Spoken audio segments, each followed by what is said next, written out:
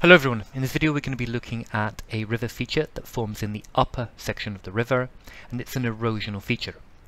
This is called a V-shaped valley. Now the diagram for a V-shaped valley is very very simple to draw. It has three stages. Firstly, um, a standard simple river uh, cross section and you need to label on the fact that the river bed becomes eroded much much faster than the rest of the river. Now number two you can see that it's eroded downwards due to um, abrasion and solution and hydraulic action and as it becomes or as it erodes downwards the sides of it become slightly unstable. This is mainly due to weathering and undercutting of course by the river. And these sides want to slide into the river channel and to add obviously more uh, material there which will then create even more erosion.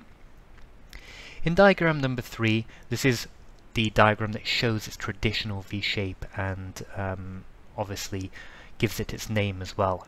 The sides have now collapsed and as you can see uh, the river valley is V-shaped.